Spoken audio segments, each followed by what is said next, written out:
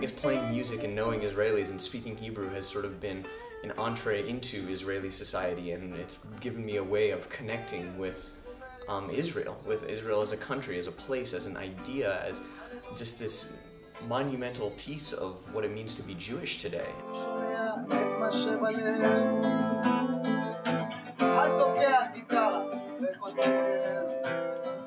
And you know, the beautiful cities, the people, the food, all of this. But I think the sort of concrete human relationships are a lot of what uh, really grounds me here and makes me feel like I am part of something and feel connected to this place. It's easy to read about uh, one ideological piece or another, or hear what some class says about this Jewish movement or that practice or what have you, but it's something entirely different when you have the experience of knowing all of these Jews who practice in all of these different ways and come from so many different backgrounds.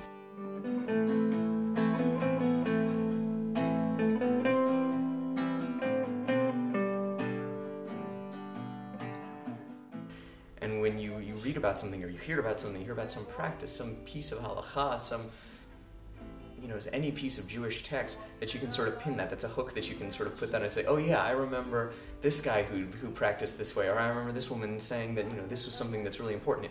It, it brings a lot of, uh, a lot of what I read about to life.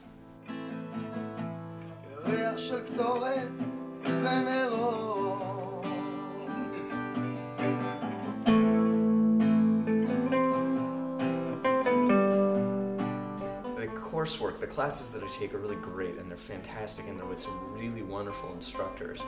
Um, and I, beyond courses, I would really sort of encourage folks to get out there. I know that sometimes it's easy to sort of settle into a routine of going into school, coming back from school, etc., going to class in various places, but Israel's the kind of place that, uh, to me, the most amazing experiences I have here are the ones that really surprise me. You know, I couldn't have planned. I could have, I hadn't planned on, you know, when I first came to Israel several years ago, ever joining a rock band here.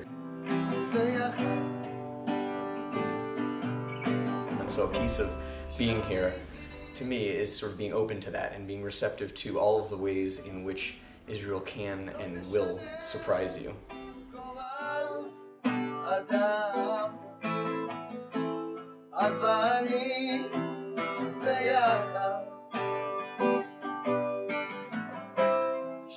So I'll be really excited to bring that con that connection that I've formed with Israel, with Israelis, that relationship that I have to my own work, to other people. And people are wondering, you know, in our in the rabbinate, hey, like what what is Israel about? Like I've had a Hillel job, people saying, what is that about? What you know, what is it like to be there and such? And so I'm glad that I can take the relationships that I've got here and my re- connection with this place.